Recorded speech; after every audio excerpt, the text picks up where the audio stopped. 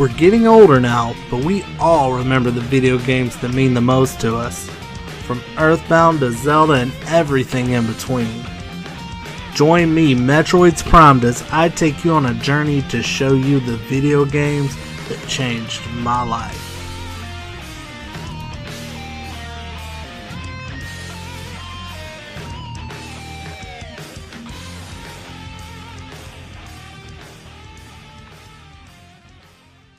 Hey guys, welcome back for another episode. In this episode, I'm going to be going over my top 10 favorite games from 2013. And keep in mind, this is my personal list, so yours might be different, but let's go ahead and get started. At number 10, I have a, a game that really surprised me, and that is Forza Motorsport 5. And I say it surprised me because I'm not a big fan of racing games, but from the first time I played this game, it had me hooked. And, you know, if you buy one game on the Xbox One that really showcases the Xbox One's power, it's definitely going to be this one. But, you know, just from the rumble features, using the triggers, driving, and just the amazing graphics, and all the different type of, of circuits you can race on, it's just a great game, a great racing game, and one of my favorites from 2013. And coming in at number 9 on the Wii U, I have Super Mario 3D World. And honestly, guys, I was getting kind of fatigued on the whole Mario franchise because it seemed like lately they were coming out with the same game over and over and over again with the new Super Mario Brothers games. But this is the closest thing that I've played to Super Mario 64 since I played it back on the Nintendo 64. And the single player is great, playing it co op is great, and just a great game. Definitely one of my favorites of this year. Alright, coming in at number 8, I have a great side-scrolling beat 'em up, and that is Dragon's Crown. And Dragon's Crown's really a love letter to the old school beat 'em ups like Golden Axe and other games like that. And the game is beautiful, has very unique art style to it, and it's something that I've been looking forward to for a long time, and it really didn't disappoint. And honestly, it's just as good on the Vita as it is on the PS3. So I bought two copies of it. I bought one for the Vita so I could take it traveling with me when I wanted to uh, go on a vacation. I would still have a copy to play, but a great game and definitely something that I had to put in my top 10 this year. Alright, and coming in at number 7 is my favorite RPG for this year, and that's Ni no Kuni Wrath of the White Witch for the PS3. And the story is just so charming, and the artwork's charming, and it's just a great game. I had a, a really a fun time playing this, and it's it's one of the better RPGs I played on this console generation. But a great game, definitely deserves to be in the top 10 this year. Alright, coming in at number 6, I have Bioshock Infinite. I'm a huge fan of the original Bioshock, and the second one, when it came out, to me it was kind of a disappointment this game really was a return to its roots, and I was just really intrigued with with the story and the city of Columbia and its history and the music in this game was great. It was just a great story altogether, and all those elements really were woven together so nicely. Definitely, it's going to be on a lot of people's uh, Game of the Year list, but a great game. Definitely had to be in my top 10 this year. Coming in at number 5 is probably one of the most charming games I've played in a long time. And it's from the creators of Little Big Planet, and that is Tearaway. I really had no idea what to expect coming into this game. And wow, was I so surprised when I first started playing it.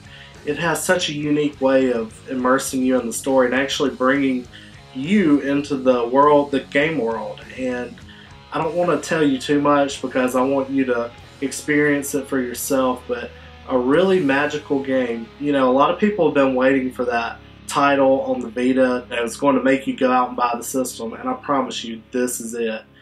It is an amazing game. It's been getting reviews of like 9.5, 9.4, and it definitely deserves that, maybe even higher. It's a great game, and uh, you know, it, it's it's up there toward the top of this list for me just because I was so amazed with it. But a great game. Definitely check this out if you have a Vita. Alright, coming in at number four, I have Grand Theft Auto 5. And personally, to me, this is the best Grand Theft Auto game since Vice City. The characters were so interesting, and it was so cool how you swap back and forth from each character, and you really get into the story, which to me has always been a problem with the Grand Theft Auto games. Is you, there's so much to do on the sides that you lose track of the story, and this really, you know, had me wanting to find out what was going to happen next. And I love the heist that you can plan in the game. There's so many different ways you can perform a heist. A great game, and it really brought me back to this franchise. And like I said, this is the best Grand Theft Auto since Vice City. All right, and coming in at number three, I have The Legend of Zelda: A Link Between Worlds. Wow, guys, this game blew me away.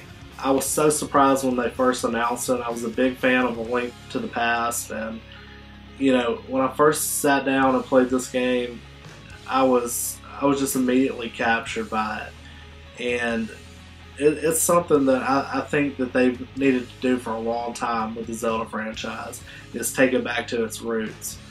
But definitely deserves to be in my top three. All right, coming in at number two, I have Tomb Raider. Wow, what a reboot this was. I was a huge fan of the original Tomb Raider series, and I've been looking forward to this game for such a long time. And when it finally came out, I was not disappointed at all. You know, it's so different from the original series, but it still pays homage to its roots, you know, while developing a whole different style of gameplay.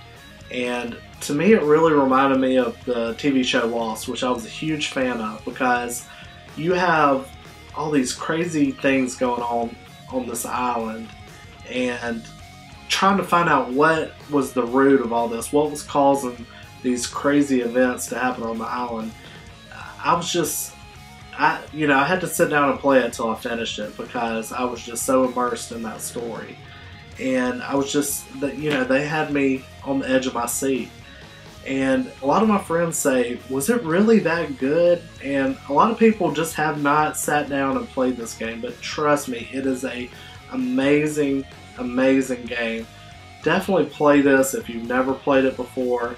I want to say now it's fairly cheap to buy, but a great reboot to the series, and I honestly just can't say enough about it. They really made Lara a more, they made her more human. She's very vulnerable in this, and you definitely have that sympathy for her, but definitely a great game. I know it's going to be very controversial to name it my number two, but it really was, in my opinion, a great game, and I loved it. All right, and coming in at number one, is The Last of Us.